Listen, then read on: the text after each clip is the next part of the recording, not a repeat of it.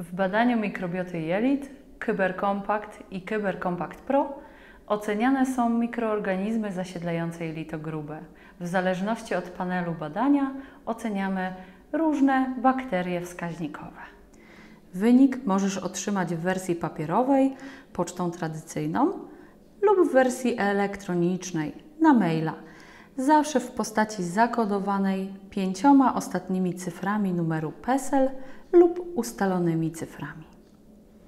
Wynik badania mikrobioty jelitowej zawiera szczegółowe informacje na temat ilości mikroorganizmów zamieszkujących jelito, poza tym interpretację i szczegółowy opis wyniku, a także zalecenia probiotyczne, czyli terapii mikrobiologicznej. Terapia mikrobiologiczna dobierana jest do wyniku, ale również do wywiadu chorobowego i dolegliwości pacjenta.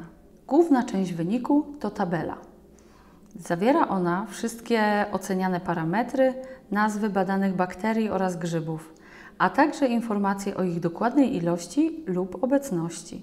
Do ocenianych w badaniu Kyberkompakt i Kyberkompakt Pro mikroorganizmów należy mikrobiota prozdrowotna, która korzystnie wpływa na nasze zdrowie.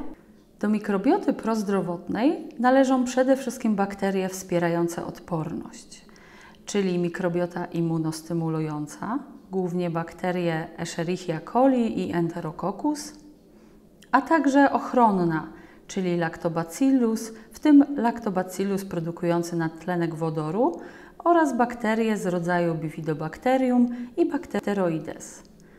W najszerszym panelu badania mikrobioty jelit Kyber Compact Pro wśród mikrobioty prozdrowotnej oceniane są również dodatkowo mikroorganizmy odżywiające nabłonek jelita Akkermansia mucinifila i Fecalibacterium prausnici. Do mikroorganizmów potencjalnie patogennych ocenianych w badaniu mikrobioty jelit należą mikrobiota proteolityczna, której nadmiar może powodować przykre dolegliwości ze strony przewodu pokarmowego, takie jak wyzdęcia, grzyby drożdżopodobne i pleśniowe, których nadmiar może powodować grzybicę przewodu pokarmowego. Wynik przedstawia również inne parametry kału, takie jak wartość pH czy konsystencja. Dodatkowo w badaniu Kyber Compact Pro oceniana jest obecność patogennej bakterii Clostridium difficile z toksyną AB. Może być to przyczyna występowania biegunek u pacjentów. W zależności od ocenianego parametru różne są normy, inaczej wartości referencyjne.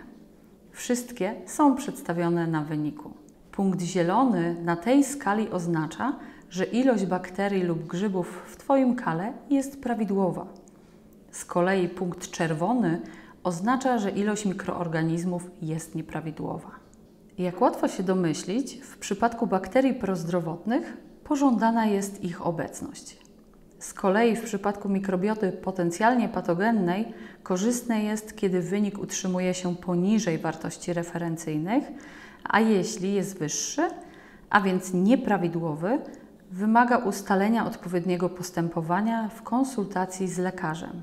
Równie istotną częścią wyniku są kolejne strony, na których znajduje się szczegółowy opis i interpretacja uzyskanych rezultatów oraz propozycja indywidualnej terapii mikrobiologicznej probiotycznej. Jeśli masz pytania do wyniku i potrzebujesz wsparcia w zrozumieniu go albo zaleceń terapii mikrobiologicznej, skorzystaj z bezpłatnych konsultacji telefonicznych z naszymi specjalistami.